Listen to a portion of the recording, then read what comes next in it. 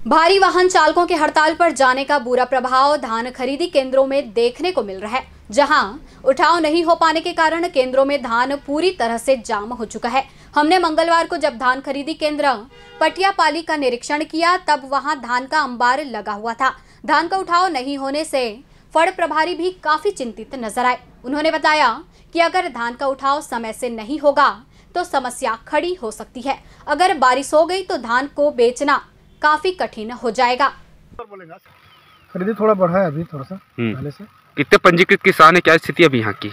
पाँच सौ उनसठ पंजीकृत किसान हैं। हम्म। हम्म, ढाई दो दो सौ पचास किसान लोग खरीद लिए हैं उठाव क्या स्थिति भी अभी आपके फड़ में उठाव तो ठीक था लेकिन अभी हड़ताल के नाम से भी रुक गया है आज। किस चीज़ का हड़ताल? ड्राइवर लोग हड़ताल पे हैं सर।